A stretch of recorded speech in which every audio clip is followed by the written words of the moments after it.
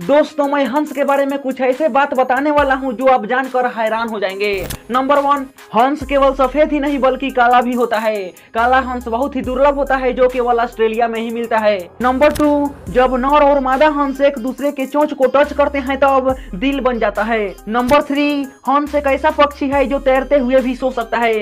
इससे हंस को कोई भी दिक्कत नहीं होता। नंबर फोर हंस एक ऐसा पक्षी है जो हमेशा जोरे में ही रहता है। अगर दुर्भाग्यवश एक की मृत्यु हो गई तो दूसरी की भी मृत्यु हो जाती है। और अगर कारणवश दूसरा हंस नहीं मरा तो कभी भी तीसरे हंस के साथ नहीं रहता। इसीलिए हंस को प्रेम का प्रतीक माना जाता है।